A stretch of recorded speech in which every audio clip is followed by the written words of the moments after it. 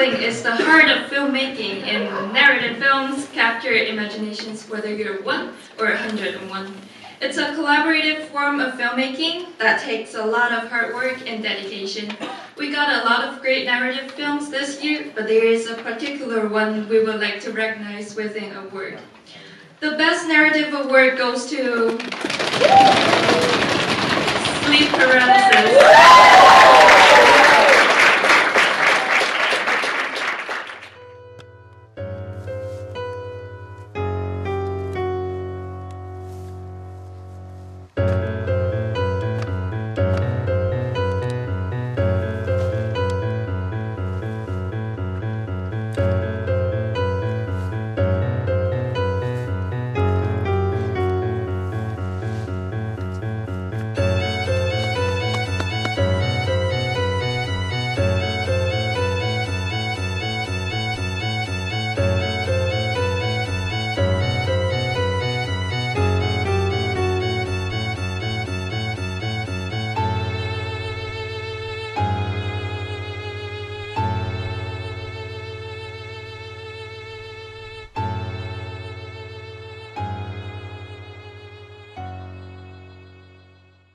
With Cass Fernandez Dieguez, the director of the narrative film winning award Sleep Paralysis at the Five College Film Festival.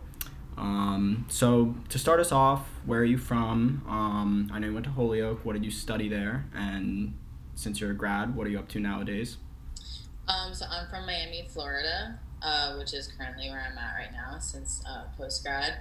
I studied film studies at Mount Holyoke and I concentrated in video production. Um, and since graduating, I've kind of been sort of in like hopping from like internship to internship, trying to find, you know, like sort of a, a work balance where I can exist as sort of like a post grad um, Yeah. individual and also uh, find time for like creative um, stuff. So yeah. Gotcha. Where are some of the places you've worked slash jobs you've done for your internships? Um, so mainly down here, what we have are uh, some advertising agencies. Um, I came back down to Miami just because, just for like you know, in like the craziness of post grad, I was like, I know I'm not gonna want to move, you know, yet to a bigger city where film is more prevalent. Um, so right now it's been mainly advertising agencies, and right now the one that I'm at um, is an advertising agency called Republica Havas, and so we do a lot of uh, event production. Um, we do some video production, and that's kind of where I'm at right now. So the your film Sleep Paralysis was set in a fictional town called Landro, but where did you guys actually film it?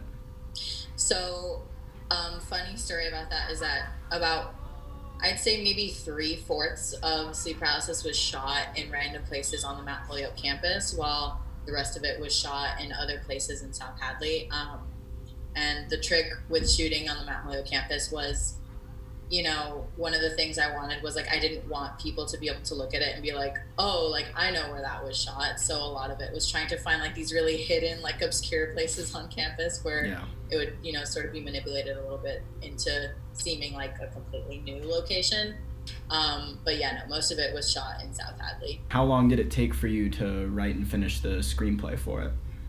um, so the original idea for the screenplay came up and was discussed in around like april of 2018 and then i didn't start writing it until like about like a month later so like may. And i wrote it from may to maybe like august or september. So that summer of 2018 going into like the very early fall was you know all the time i spent drafting it and coming up with final revisions. How often do you have like rewrites and like redrafts? like it felt like every other day towards the end just because i you know i'd come up with a draft and then i'd send it to to like my thesis advisor and like a few people um, like some of my friends who had agreed to sort of like beta read it for me. And then they'd come back with edits and then edit i like if i if i just like looked in my computer for like sleep paralysis there'd probably be like sleep paralysis one two three four Yeah. five like there's just so many versions of it Just endless drafts. Yeah. yeah Okay. Um, how long did it take you to actually shoot it? Um, to shoot it, I'm trying to remember. We started shooting around a funnily enough, we started shooting towards the end of October, so around Halloween. Um, so for like spooky vibes. Um, yeah, we definitely needed from- spooky vibes for some of the stuff going on there. Yeah, yeah, like that kind of like we wanted that sort of um, sense that there was like time passing, and so since we knew like you know fall, like spooky, and then like towards the end it was snowing, um, so we wanted that sense of like time had gone by. So we did the spookiness, and we went for like end of October, and then I think we, if I remember correctly, we wrapped probably the week of Thanksgiving before everybody went home for break. Jane Rosenberg, who I'm sure you both have already met, only just became our president this year, and already she's taken our club to new heights. Isn't that exciting? Get her in the bathroom real quick. I can take your bag. You're Detective Morales' kid, right? Yeah. What does he know? What? What do you know? Um, It's okay. We'll find out soon. Whenever you're ready. Have you ever experienced sleep paralysis? what? I, said, whenever you're ready.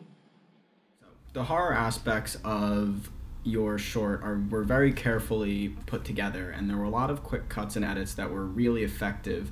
What were some of your inspirations for those, like mo- those more experimental moments? Mm-hmm. So, some of the more expen- experimental ones, like I think the one where um, it's Remy sort of like tripping out and she's like hallucinating in the high school. Um, that I remember kind of thinking of Black Swan. There's like a scene where like they're like in the club and like Natalie Portman's just like having a moment, and it's like there's like all the lights and she's dancing, and then like if you freeze the frame, there's like certain things like changing in the surroundings. Um, that was one that I took for inspiration. Um, and then another that I took for inspiration was uh, the Babadook.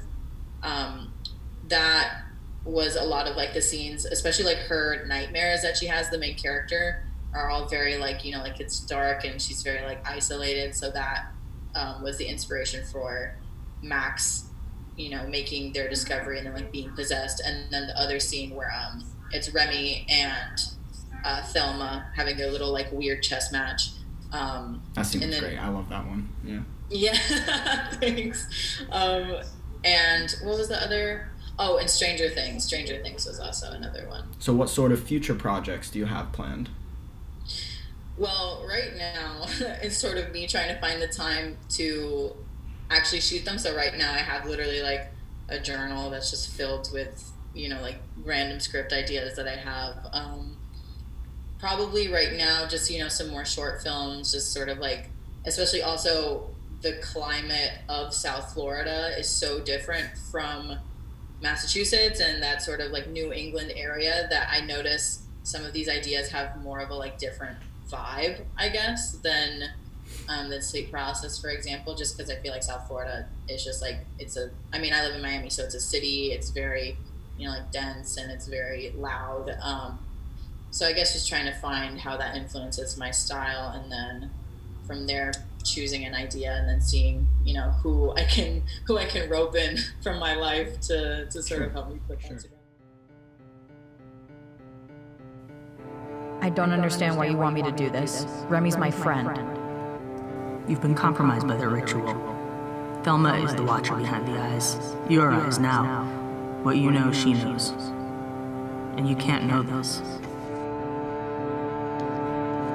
My other mom died when I was little. That journal is hers, actually. It's the only thing I've left of her.